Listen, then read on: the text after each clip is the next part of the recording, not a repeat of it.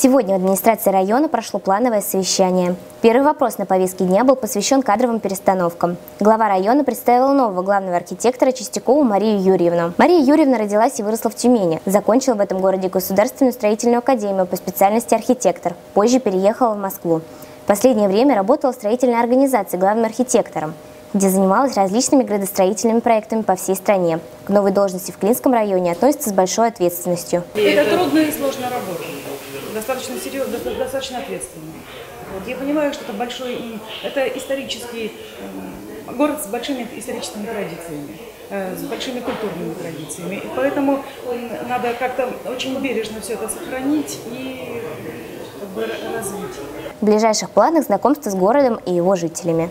Буду знакомиться плотно с вашим городом, э, с жителями. Э, и постараюсь, э, постараюсь ну, приложить все усилия для того, чтобы этот город стал более комфортным, для, удобным для жителей, более благоустроенным, красивым, современным городом. Ну, вот такие пока задачи на первое время, и я надеюсь, что ну, через месяц-полтора, я думаю, на, на, плотно вникнуть в проблемы города, уже показать какой-то результат, или, по крайней мере, более плотно сказать вам о каких-то проблемах их решений.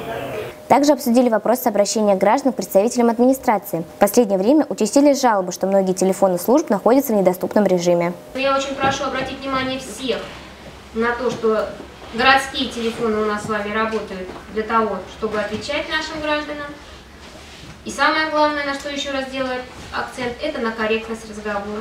Наверное, э, придется со временем, так как это уже сейчас во многих службах и э, региона, и столицы, ставить устройства записывающие, чтобы и вас предохранить на предмет грубого отношения Э, со стороны наших заявителей, ну и чтобы наши с вами коллеги не позволяли себе грубости в ответ на звонки наших граждан. Открытость власти и постоянной коммуникации с жителями – один из принципов работы власти муниципального уровня, поставленный губернатором Московской области. В нашем районе этот принцип развивается и действует благодаря доступности электронных почт различных служб и управлений, а также существования их аккаунтов в социальных сетях, где они не только общаются с жителями, но и публикуют все новости и изменения.